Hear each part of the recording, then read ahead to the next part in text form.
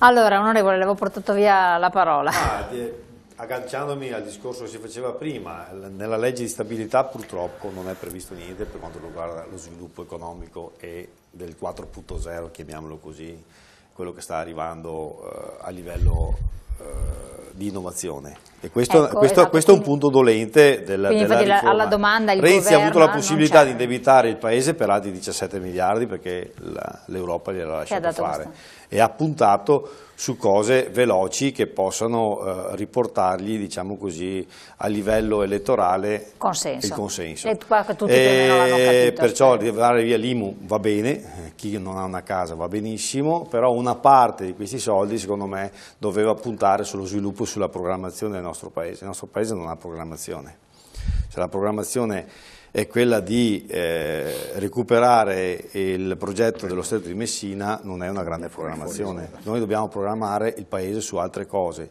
Ripeto però, sono anche cosciente di dire piuttosto che si impicchi una persona, meglio dare il lavoro di rifare il marciapiede del, del- del proprio paese, perché eh, in quel paese il patto di stabilità lo può utilizzare in maniera diversa, perciò gli ha dato questo. perciò meglio, meglio dare lavoro subito, però voglio anche eh, ripetere che è basilare che noi il futuro eh, lo dobbiamo costruire e viene costruito in questi momenti della legge di stabilità, perché se si danno determinate possibilità a certi sviluppi economici o si crea progresso, il nostro paese si rimette. Ecco, pieghe- nelle pieghe della legge di stabilità, per restare un po' al titolo, ti do subito la parola Luigi, eh, lei quindi non ravvede proprio un lungo periodo, perché qui abbiamo lavoratori che perdono il posto, quindi dicono se le, se le imprese vengono in qualche modo supportate in una visione di lungo periodo, il posto lo recuperiamo facilmente, quindi non è il problema perdere il posto di lavoro, è il fatto di dire troverò eh, mercato, e bisogna gli imprenditori, commercio, Io- quant'altro. cioè, allora, questo- quello che si è costruito negli anni scorsi mh, per una serie di motivi, eh, c'è anche un discorso basilare, c'è anche la figura dell'imprenditore che non c'è più, eh. perché qui si parla, ma se non si costruiscono le mentalità perché uno diventi imprenditore, non è che domani mattina si trova un imprenditore fuori di porta. Oppure diventa imprenditore di una piccola partita IVA, mette là, tre, mette là tre, tre computer, fa quattro programmini che servono, è il progresso, è tutto bello, ma non crea il vero lavoro di una nazione che deve, che deve svilupparsi con 60 milioni di abitanti. E questo è il concetto. Eh, io per esempio ho eh, depositato un mio progetto di legge proprio per far ripartire l'economia dell'edilizia eh, in questa maniera.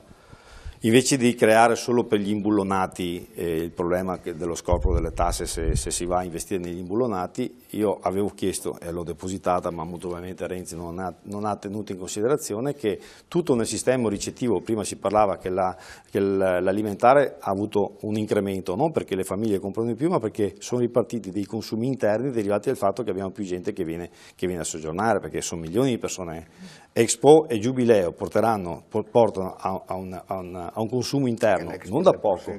Eh? Anche l'export del Prosecco è andato bene. Beh, eh, io, vabbè, tutto, eh, eh, questo è, è- è significante anche perché esportiamo di più su quanto riguarda l'alimentare. E cosa ho fatto? Ho creato una specie di Tremonti sulla ristrutturazione di tutto il sistema ricettivo alberghiero, dal campeggio al piccolo ristorante, dalla pizzeria che vuole rifare la cucina, vuole smantellare via quattro stanze, vuole rifare... Sentiamo Zanon perché cosa ne pensa. Su queste basi io sono convinto che tutta la filiera edilizia microimprese, dal pannello solare a chi va a piantare la piantumazione e l'irrigazione fuori dall'albergo o del ristorante, può avere la, la possibilità di ripartire e noi possiamo offrire a quel cliente estero sicuramente un grado di servizio elevato, ultimo- di ultima generazione, pulito, profumato e come Già non può essere utile questo? eh, Noi la settimana scorsa abbiamo fatto un convegno, proprio si parlava di turismo, abbiamo invitato la regione che è l'interlocutore che è nostro, abbiamo invitato il sottosegretario Barretta, Barretta.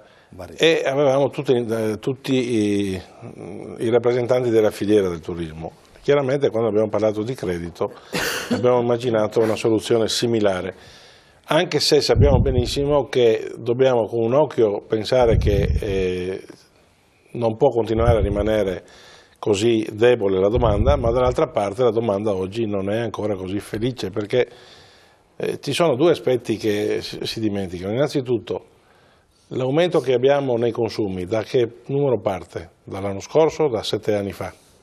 e questo nessuno lo guarda.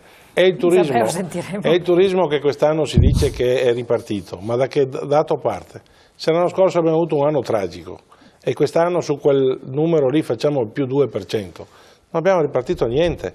Ah, quindi le vostre valutazioni e allora, e allora la nostra valutazione è questa, è meglio avere il più e nessuno vuole eh, ritornare a parlare del meno, ma che ci sia in questo momento la condizione da parte dell'impresa che è legata al mondo del turismo. Se non viene semplificata, ed è questa la nostra battaglia, tutta una serie di cose burocratiche che però alla fine sono ulteriori costi, è difficile che un estero venga a investire in Italia per fare il turismo che sicuramente sarà quello del grande albergo o del grande villaggio e per noi che rimaniamo invece legati più a strutture di tradizione, a strutture che sono comunque sparse in tutta Italia che bisogna salvarle perché sennò i nostri centri muoiono tutti, non è sufficiente perché quell'incremento del 2 o del 3% con il costo di denaro che nonostante sia a zero in Europa ma uno che quando lo, lo paga bene riesce ad averlo su 6-7%, tu non hai margine per poter fare sviluppo. Quindi è un gatto che si mangia la coda, però che se ne parli è necessario. Volevo, volevo chiedere all'onorevole Cao cioè, se fosse, chiedere, se era, se, immaginarsi per un attimo il Presidente del Consiglio. Volevo chiedere cosa avrebbe fatto come prima cosa, no? come cosa importante. E lei ha detto poc'anzi, eh, mi aveva dato già una risposta presentando quel disegno di legge per quanto riguarda il turismo.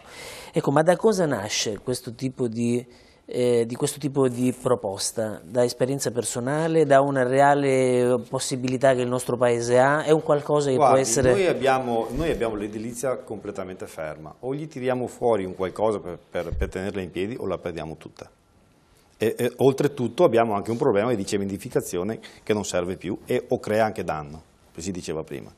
Abbiamo uno spazio, Qual è lo spazio? Se faccio urbanizzazione e appartamenti, per quell'impresa vuol dire fallimenti. Se invece io vado a eh, riordinare il mio territorio e vado a ristrutturarlo, devo puntare sulla ristrutturazione. Devo puntare sulla ristrutturazione dove solo il giro IVA, come aveva fatto Tremonti per i capannoni purtroppo, quando ne sono stati fatti anche troppo, mi dia stesso, lo stesso effetto.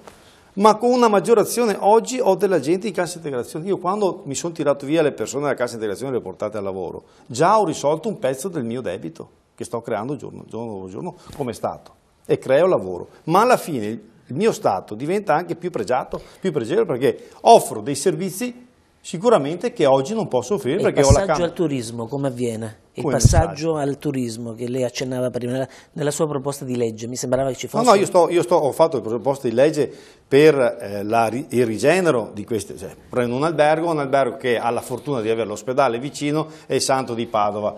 Questo lavora 20, 20, 20 anni e ho sempre lo stesso materasso. Sfortunatamente arrivo io da Milano o da Vienna e vado e mi, e mi, ritrovo in questo materasso. Non è più plausibile, non è più pensabile di offrire certi servizi a un certo tipo di turismo che ci vogliamo portare a casa, perché abbiamo un turismo che visto il costo che abbiamo, visto i costi che abbiamo, deve andare stratificato. Devo portare anche i miei servizi a quel livello. Però, non in tutta Italia abbiamo questi certo, servizi a certo livello. Questa rigenerazione potrebbe valere anche per altri tipi di edifici. Ma sicuramente io ho però pensato che le partite IVA più prese, più importanti, più, eh, siano quelle del sistema ricettivo. Dalla, dalla, dalla, dal, ripeto, dal campeggio al, al, dove si muove più denaro sì. infatti Zabè volevo chiedere perché no, eh, le, eh, gli incentivi al, alle famiglie ce li abbiamo già eh, col 55% su cioè, 10 esatto. anni cose del genere. Eh, Zabè, voi avete riscontrato, e l'ha detto bene all'inizio, che un problema però sono i finanziamenti, le banche perché poi in tutto questo, se anche eh, un associato di, di Confcommercio di Zanon vuole fare una cosa ha bisogno di un finanziamento, se poi la banca però nega, come sembra, perché di fatto tra la sofferenza lei,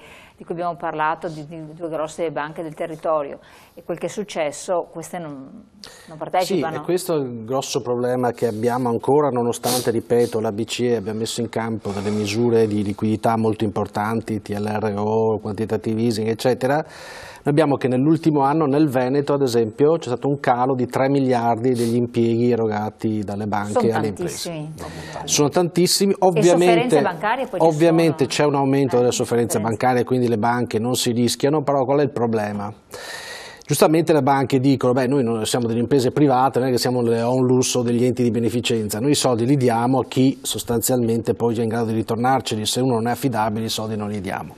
E questo discorso sta in piedi. Quindi quando tu vai a guardare praticamente le sofferenze, ti accorgi però che qualcosa non quadra, ovvero vai a vedere che eh, a fronte di 100, praticamente, di 100 di, delle sofferenze fatte a, pari a 100 anche nel Veneto, l'80% di queste sofferenze sono in capo praticamente ai maggiori 10 affidatari che sono sostanzialmente grandi aziende, grandi imprese, sì. che sono praticamente grandi gruppi industriali e al contempo vai a vedere quanti sono gli impieghi e vedi che sono sempre del 10% dei migliori affidatari. Quindi cosa vuol dire? Che anche nel Veneto, così come in tutta Italia, i soldi, guarda caso, delle banche vanno a finire sempre i soliti noti, cioè gli amici degli amici, non i piccoli che sono i più eh, sono più diciamo così, affidabili, sono quelli che sono in grado di restituire i soldi. In realtà quindi eh, la cosa è anche facilmente registrabile, riscontrabile, perché se tu vai a guardare i consigli di amministrazione delle banche, soprattutto le grandi banche, non è che trovi l'artigiano, il piccolo commerciante o la partita IVA, e trovi praticamente il general manager, l'amministratore, l'amministratore delegato del grande gruppo, il presidente della grande industria, eccetera, e quindi sostanzialmente un circuito abbastanza chiuso, qualcosa l'abbiamo visto anche nel Veneto, Veneto, anche, anche, le popolari nostre di eh, casa nostra, eh, abbiamo infatti. visto che queste questioni sono emerse, a dimostrazione che eh, questo Paese fa fatica sostanzialmente a aiutare i piccoli, aiutare le microimprese, aiutare le partite IVA che vengono viste con un certo fastidio e quindi si guarda sempre invece alla grande impresa, alla grande industria, magari alla multinazionale, questo è un occhio particolare. Non solo questo, non solo questo, c'è stato anche, mi scusi, anche il fatto che quando una banca dà un credito, in genere questo credito veniva per così dire eh, tutelato attraverso magari la verifica in capo all'imprenditore se aveva beni immobiliari. Ora i beni immobiliari, ah, no, sì, tu, devi premiare, tu devi premiare il progetto di impresa, non la capitalizzazione, perché adesso si sono, uno dei, dei buchi delle, delle, delle banche su cui adesso devono ripatrimonializzarsi è proprio perché hanno in mano tutta questa realtà. Invece devi andare, pre- devi andare, a premiare il progetto di impresa, però per fare questo bisogna che qualcuno sappia giudicarli, se non li sa giudicare... Eh, sì, però c'è un aspetto un che, nessuno, che, nessuno, ricorda, che questi soldi dalla BCE li hanno ottenuti a tasso zero e in gran parte hanno l'obbligo di darli, di erogarli al suo mercato, di metterli a disposizione delle imprese.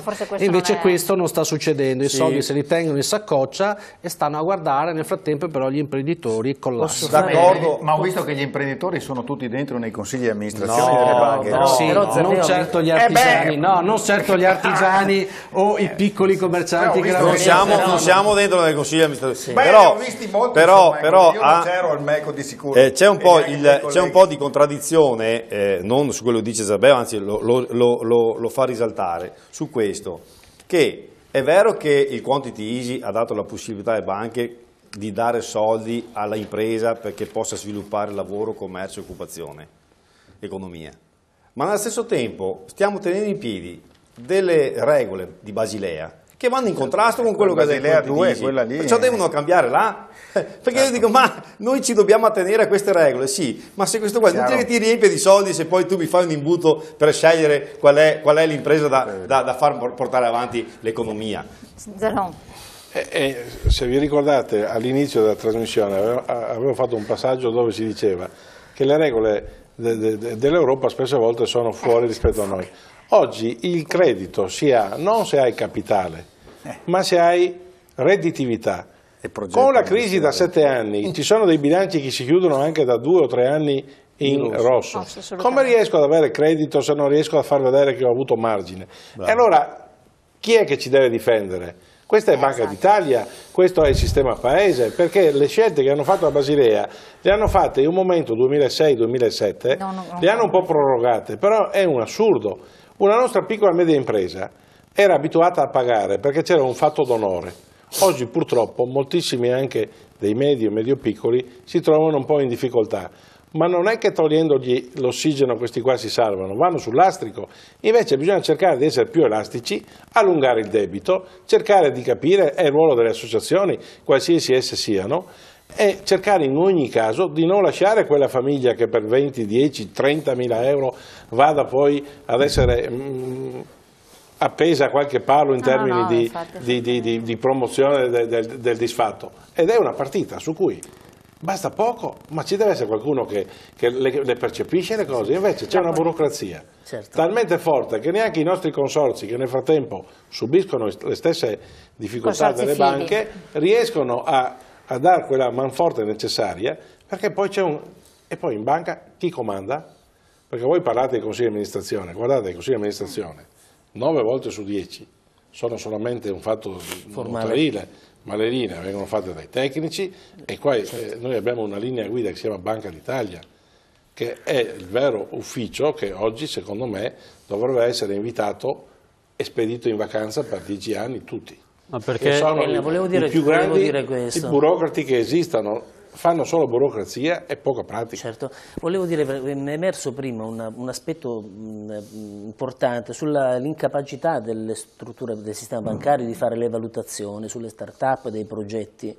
Cioè abbiamo un personale bancario assolutamente inadeguato, a differenza di Per altri le ragioni che dicevo. Questo passaggio Io non è credo importante. Ma c'è un conflitto Io di volevo, interesse enorme volevo però dire una cosa, a me, e poi passare- fare una domanda a Zabeo, e a me eh, sorprende il fatto che oggi si dica che il, il credito vada a vantaggio, beneficio solo dei grandi gruppi, perché io pensavo che andasse a vantaggio della redditività, cioè anche dell'impresa piccolina in grado di poter fare.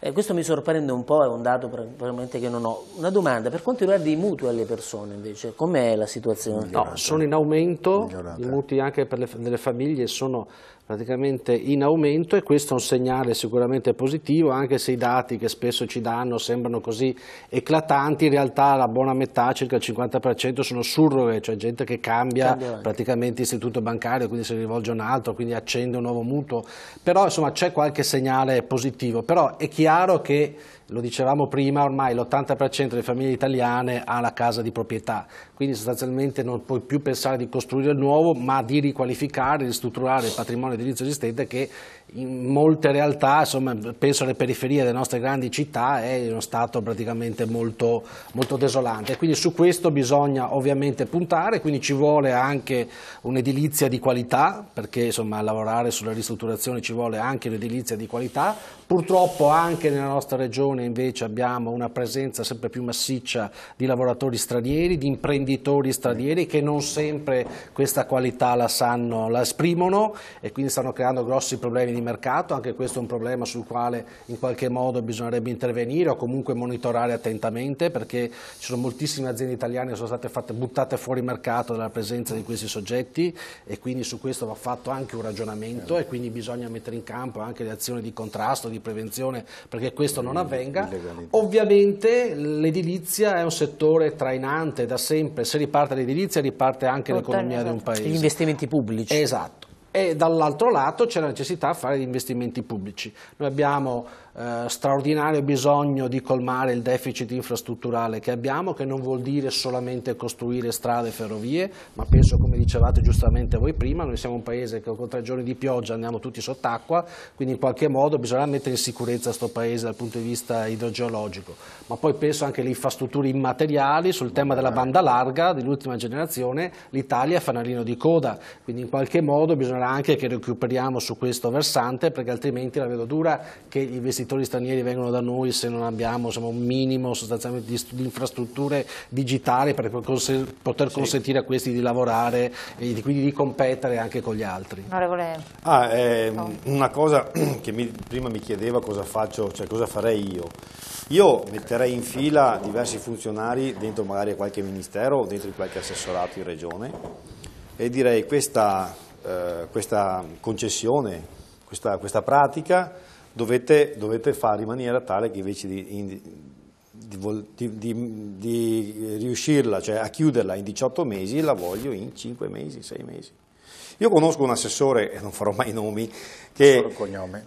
che solo cognomi magari, che eh, lui si è messo, ha messo proprio, ha detto io ci credo alla digitalizzazione, una persona che, insomma, che, che lavora proprio nell'informatica, però ha messo da parte un po' l'informatica in questo caso e ha preso un, una- un salone lungo 20 metri, 25 metri e ha messo tutti dei tavoli in fila e col pennarello nero ci ha messo una, una scritta, cioè ci ha messo dei, delle date, ha fatto una specie di calendario. E queste pratiche come si spostavano, cosa dovevano aspettare, cosa doveva aspettare. Visivamente. Visivamente. Poi è chiamato e ha detto, beh, allora qua cominciamo, questa qua non serve, dobbiamo, dobbiamo fare in maniera tale. E una volta definito che il tavolo si era accorciato di un po' di mesi, ha detto adesso cominciamo a digitalizzare e mettere in rete in maniera diversa. Questo è secondo me un esempio che noi dobbiamo portare avanti dentro la pubblica amministrazione. Grande Questa pragmaticità. grande, sì, partire dal tavolo che dove ci sono tutte, tutte Certo. quante queste, queste cose, poi dobbiamo scegliere i politici che abbiano anche il coraggio di decidere. Adesso qua non ci sono politici dall'altra parte del Veneto, perciò mi diventa difficile, però se noi dobbiamo aspettare la partenza di un investimento di un miliardo circa di un ospedale di Padova dopo 5-6 anni, c'è la gente che si impicca perché non sappiamo come fare l'ospedale. Cioè, qui non c'è, serve gente che tentenni, serve gente che decida, in giro anche di 24 ore, a prescindere da- anche dal- da, diciamo così, dalla portata elettorale che mi può portare una decisione no. Perché se cominciamo sempre a farlo solo esclusivamente sul discorso di cosa vi può essere eh, di ritorno elettorale, l'Italia si fermerà. Eh, Presidente Confarti, ehm, voi avete sottolineato tra l'altro anche il problema delle tasse tra le altre problematiche che adesso sarà questo l'ultimo trimestre, sarà mm, lacrime e sangue per gli imprenditori, quindi abbiamo visto vari aspetti, dai tempi della burocrazia, eh, costi, un contratto che per il datore di lavoro, poi ne accennava il Presidente Zanon, è costosissimo per cui si trova costretto a lasciare a casa dipendenti, dipendente che non prende abbastanza perché? Perché più viene in tasse che non nelle proprie tasche, Ul- non da ultimo un imprenditore che non riesce a dare abbastanza perché ha tante tasse da pagare. Sì, ma sono più di 100, mi pare di aver visto. 1,88 miliardi di tasse Sì, da sì. pagare fra novembre e dicembre tra No, imprese ce e famiglie padovane. bizzarre. Il fatto è che a noi eh, fa un po' ridere vedere che sono appunto 100 e alcune con dei nomi assurdi, però c'è un- una questione di fondo che ogni singolo centesimo raccolto da quelle tasse che vanno al pubblico evidentemente è utilizzato molto spesso malissimo, ma Quindi senza un quello. quindi, tanto per cominciare raggruppiamole e evitiamo che uno abbia 100 adempimenti diversi. E già questo E qua sarebbe semplificazione. un bel regalo, anche perché andando a vedere eh, da dove vengono, probabilmente capiremmo che forse costa di più tenere in piedi il meccanismo per eh, avere i soldi di quanto invece queste tasse eh, non vadano a, a generare eh, possibilità per la parte pubblica. E sarebbe comodo, ma a questo punto noi non lo facciamo più. Dire eh, ecco tante tasse, bisogna pagarle qua e là. È un dato di fatto, questa è la nazione nella quale viviamo. E finché non avremo sistemato le cose, purtroppo dovremo affrontare queste, ma almeno vorremmo non essere presi in giro, questo sì, e quindi semplificare, ridurre per quanto possibile e poi usare bene. Nel frattempo come al solito faremo il nostro dovere e per quanto riguarda l'organizzazione nostra abbiamo messo in piedi anche un sistema di finanziamento ponte a breve per certi periodi con alcune banche nostre partner in modo da associati. consentire perché, perché quell'imprenditore ha comunque l'idea di andare avanti ma sarà bene che se non ha in mente il come a un certo punto dica mi arrendo perché se no farà danni a sé, alla sua famiglia e alla comunità in genere. Io ho visto a proposito del commercio che c'è qualche organizzazione che dà una sorta di consiglio adesso, cioè prima di aprire un negozio, Sì, un disgraziato, bisognerà che qualcuno gli dica attenzione che ne hai quattro vicini a te, stai rovinando la tua liquidazione con questa cosa. Tutto in questo grande meccanismo di maggior consapevolezza e maggior impegno da parte di chiunque abbia un ruolo sociale pubblico. Noi come associazione questo lo facciamo, o ci Beh, dai. proviamo, insomma, se no Vabbè, insomma, siamo qualcosa siete- umani. ecco. Esatto. Eh, Marchides ehm, Moccia, volevo chiederle eh, che cosa chiedereste quindi voi a questo punto al governo in una legge di stabilità per poter venire incontro a queste problematiche? Chiedereste perché voi non riuscite ad avere un confronto diretto, quindi Bella la domanda. sempre- ecco, la lista potrebbe essere No, la cosa lunga. principale, facciamo Prima abbiamo affrontato tanti, tanti argomenti, c'era un argomento che noi non abbiamo toccato, ma perché probabilmente richiederebbe davvero più di una, di una sola trasmissione. eh, che però mh, torna secondo me ed è venuto fuori anche da, da diversi del- degli ospiti che sono qua, eh, che è quello della legalità. Eh, si è parlato senza magari fare un riferimento diretto di legalità, di- anche di, di concorrenza e di concorrenza leale sul, sul mercato. Ehm, C'è ad esempio il mondo degli appalti in cui sono coinvolte molte, molte aziende, molte sono grandi aziende, eh, ci sono anche piccole realtà però che vorrebbero poter concorrere ad esempio nel mondo degli appalti sia pubblici che, che non e che si perdono in un sistema eh, estremamente farraginoso di, di regole, di, di meccanismi, eh, c'è poca trasparenza nella- anche nella, mh, nella partecipazione vera agli appalti, nell'assegnazione degli appalti. Quindi una eh, proposta di legge anche da parte nostra, da parte della CGL, è stata fatta nel- nei mesi passati. Un passaggio eh, da parte del governo chiaro, preciso, puntuale e onesto sulla materia degli appalti potrebbe essere un passaggio per noi importante. L'ultima cosa, Zabeo, nella vostra previsione tendenziale 2000, arrivare al 2018, eccetera, avete calcolato l'aumento di due punti, cosa sarà, due o tre punti dell'IVA del 2016, che quelli non cercava nessuno, Eh, salvo lì, sai, C'è la miracoli. clausola di salvaguardia, doveva scattare già quest'anno. No, ma ce la portano ce la- prossima. l'hanno- Però una Ce cosa che- se fossi Renzi io avrei fatto eh, una misura shock perché questo paese ha bisogno anche di un vero scossone altrimenti non è che possiamo ritoccando cioè con eh, pensare di eh, uscire diciamo così, rapidamente eh, con una misura shock di tagliare 4-5 punti di tassa in tre anni. E allora lì sostanzialmente se tu tagli in maniera molto secca e ovviamente... E reale. No, vai a recuperare i soldi dove su un aspetto dove questo- Eh. anche questo governo ha completamente fallito, che è il queso della spending review, cioè praticamente hanno anche qui fallito sul fronte del taglio della spesa pubblica, Eh. tagliano 7, mi- dovevano tagliarne 10, poi si è ridotto a 7, di questi 7, 3 e mezzo sono tagli, o meglio mancati aumenti alle regioni che probabilmente si tradurranno in aumento di ticket per, per i cittadini, quindi hanno completamente fallito sul fronte del taglio della spesa pubblica ed è chiaro che se non intervieni lì eh, questo paese non ha risorse per fare alcunché e per risollevarci noi abbiamo bisogno di tagliare le tasse, tagliare le tasse sulle imprese, tagliare le tasse sul lavoro, sul lavoro autonomo e sul lavoro dipendente perché solo così si ripartono i, I consumi se che la gente ha la possibilità di spendere. Se allarghiamo da un lato la base occupazionale, quindi più gente che lavora, più gente che ha uno stipendio può spendere e soprattutto se le buste paga sono più pesanti. Per far questo ovviamente dobbiamo aiutare anche le imprese perché fino a prova contraria il lavoro lo creano le imprese private, non più il pubblico e quindi bisogna dare una mano grassetto queste. a monte, insomma, Quindi sostanzialmente eh. bisognerebbe avere un po' più di coraggio, un po' più di bisturi per tagliare, cosa che purtroppo Renzi non ha a fatto.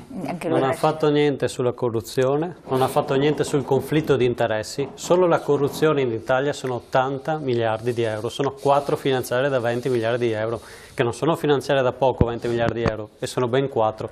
Metà della corruzione europea è fatta in Italia, su questo il governo non ha fatto niente. E lì primi. rientra la materia degli appalti. Almeno in questo eh, siamo primi purtroppo sulle cose. Quello ci Poi sugli fare- imprenditori che non ho sentito qui parlare, cosa è stato fatto per garantire chi avanza dei soldi che venga effettivamente pagato in Italia? In Italia se uno avanza dei soldi è spacciato, non è neanche tutelato da un punto di vista legale. Intanto ci paga l'IVA e il- il primo a non pagare molto spesso è il pubblico, sia lo Stato e poi in cascata anche la Regione non paga tutto quello che deve pagare. Queste sono le misure che servirebbero subito ai cittadini e anche agli imprenditori e al commercio. E una politica generale. Renzi è stato l'allievo che ha superato il maestro e purtroppo il maestro di Renzi si chiama Silvio Berlusconi perché ha imparato subito da lui. Prima di tutto eh, Berlusconi è stato un mago a cambiare il nome dei partiti. La sistema- il sistema No, ma politico non andiamo perso- ad analizzare questo, no, e- siamo ed è arrivato a cambiare il nome delle tasse per far capire agli italiani che, non- che le tasse non si pagavano più, basta cambiarci il nome. Allora Eh. abbiamo l'illusione che quelle tasse siano sparite e non si paghino più. Vabbè, siamo in chiusura. Battuta di chiusura, poi dopo le conclusioni che cosa, cosa tira fuori le- il nostro Luigi Sposato. Onorevole, ma secondo lei c'è qualche speranza di, di- di un qualche cosa in base a quello che si sta Guardi, facendo io sono adesso natura o no? ottimista, sebbene magari questa sera sono stato No, no, sia realista, sia realista come ha detto che ci facciamo stato che- Però bisogna essere anche ottimisti, perché quando si diceva a Berlusconi che i, i- i ristoranti erano pieni non era vero, anche oggi tutti si dice una grande ripresa, stiamo Eh, ma parlando infatti Renzi ci dà queste immagini, perciò eh. sia da una parte sia dall'altra Ah. si utilizza il sistema dell'ottimismo per far ripartire, per far ripartire È l'economia. stato studiato. Uno, bisogna puntare sul, sul- che poi va a braccetto. No, ma lo stanno facendo, lei ci dica questo. Secondo lei c'è qualche cosa No, oppure io, eh, ci io stanno solo vedo, io vedo questi 17 miliardi che sono stati che abbiamo avuto la possibilità di, di- di spendere in più eh, in una cosa eh, diciamo così veloce, se- magari anche giusto, ripeto, perché, perché piuttosto che qualcuno, qualcuno, eh, rimanga senza lavoro eh, è bene rifare il marciapiede o rifare, o rifare qualche, qualche scuola e- ed è giusto che sia così. Però doveva essere bilanciata, in senso che dovevano vedere sì la cosa di, di primo acchito, ma dovevano vedere anche... E poi mancano le due cose fondamentali che io porto avanti in questo Paese da anni, da sempre. Uno è un discorso di concorrenza che è derivato anche dal sistema federalismo. Se oggi io so che una siringa a Padova mi costa 1 e dall'altra parte mi costa 5 è perché c'è un federalismo sulla sanità. Se noi invece andiamo a concentrare tutto, Centra- si porta tutto. eh, ci ritroviamo che certe volte viene a costare 2 quando può costare 0,5. Questo è perciò costi standard, eh, spendi review che vanno, che vanno- Ah, vanno a braccetto e, e- e rivisitazione del, del grande problema del, eh, di, que- di questo- di questa panacea, cioè noi viviamo in una burocrazia estrema. Sa quanto costa la burocrazia in Italia a confronto del PIL in, in Germania? Sì, ho visto i 54 dati, miliardi. esatto, ho visto i dati terrificanti. Siamo arrivati in chiusura, grazie. Eh, che cosa ne Quante ore deduce? mi dai ancora? No, no, un minuto perché siamo in chiusura, siamo già fuori No, tempo eh, massimo. La, la cosa è che, è che, mh, adesso l'onorevole parlava dell'ottimismo, no? bisogna essere ottimisti. eh, So, sono vedo che entrambi, no, sia. Berlusconi sia, sia Renzi stanno utilizzando l'arma dell'ottimismo. Eh, Sono sì, d'accordo è stata e studiata. per esperienza dico da, da imprenditore dico che, la- che le cose che crescono su cose concrete, su cose positive, cioè non puoi costruire il tuo po- l'aspetto positivo solo sul desiderio e il trasmettere positività, devono esserci oggettivamente delle situazioni positive che da, da come è emerso in questo dibattito non- in realtà non sembra essercene perché eh, abbiamo esordito dicendo che quel poco che c'è di, di- di- miglioria nel nostro paese deriva da fattori esterni. Io da tempo dico, chissà quando il binario dell'economia reale si incontrerà col binario delle decisioni politiche. Perché le decisioni politiche, da come Eh, ma abbiamo visto che navigano su altri non orizzonti. non- non- non- secondo appunto stasera non, non- sembra che ce ne siano, non c'è una visione sistemica dell'Italia, del, del paese Italia, non c'è una visione piena di valori, si lavora a medio termine, a brevissimo termine, non si ha una programmazione. Io chiudo dicendo a Elena questo, che Obama è riuscito a tirare fuori l'America attraverso il Job Act, eh, Job Act americano. Che cos'era però a differenza del nostro? Era, comprendeva investimenti pubblici, si è discusso sull'importanza ci debbano essere investimenti pubblici, start-up aziendali, sostegno alle imprese da parte degli istituti di credito, minore tassazione del lavoro. Ecco, noi in Italia abbiamo fatto solo la minore tassazione, la decontribuzione degli 8.000 euro per i prossimi tre anni perché assume entro il 2015. Ecco, quindi non c'è una visione sistemica, io condivido il fatto personalmente che eh, non c'è la volontà di affrontare veramente le cose e andare su quello che diceva prima Zab- Zabeo in fase di chiusura, cioè sull'andare a tagliare quelle che sono le spese dello Stato. Ecco, se non c'è una reale ma sforbiciata su quelle spese, difficilmente riusciremo a tirarci su. Oggi c'è un bellissimo articolo sul Sole, del Sole, su Sole 24 Ore, tutti parlano del 0,1 in più, 0,2, 2 più, insomma è un- veramente una cosa, a mio avviso, ritengo disgustosa, perché la visione deve essere a medio termine, non puoi basarti sui dati da un giorno all'altro, da un mese La trimestrale. Questa trimestrale. Grazie anche all'intervento di Luigi Sposato. Allora io vi ringrazio di essere stati qui con noi in studio, di aver consentito di approfondire anche questi temi, di guardare con maggior lucidità dei dati che freddi non sono ma che ci parlano di una realtà, di vedere oltre, soprattutto speriamo a questo punto, come, come dice l'onorevole, che qualcosa si possa risolvere, ma sta molto anche nella responsabilità di ognuno quando poi si va a questo punto a votare, a farlo con consapevolezza, dando fiducia a persone che speriamo possano avere aderenza alla realtà, perché solo così, operando concretamente, forse qualcosa si fa. Vedo con grande lo sguardo scettico di Scarabel, no, vero? No, scettico no, però Oltre a quando si va a votare dobbiamo iniziare a essere coscienti anche quando andiamo a fare la spesa. Abbiamo parlato di commercio, leggiamo le etichette, siamo consapevoli di quello che andiamo a comprare. La vera politica ora come ora si fa al supermercato, poi anche nelle urne e noi ci auguriamo in un certo senso, ma si deve fare al supermercato ogni giorno. E non Quindi... tutte le domeniche. E non le domeniche. esatto. Grazie ancora, buon proseguimento, buona serata, noi ci vediamo domani. Grazie.